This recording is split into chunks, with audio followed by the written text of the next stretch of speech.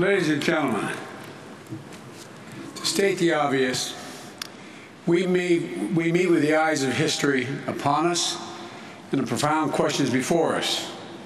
It's simple. Will we act? Will we do what is necessary? Will we seize the enormous opportunity before us? Or, we, or will we condemn future generations to suffer? This is the decade that will determine the answer, this decade. The science is clear.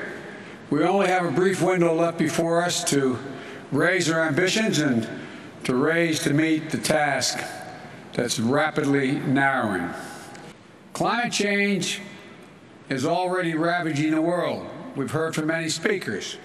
It's not hypothetical. It's not a hypothetical threat. It's destroying people's lives and livelihoods and doing it every single day.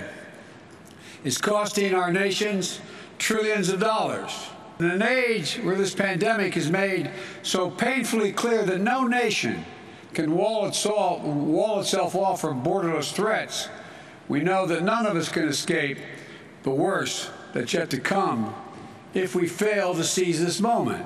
We're standing at an inflection point in world history. We have the ability to invest in ourselves and build an equitable, clean energy future, and in the process, create millions of good paying jobs and opportunities around the world.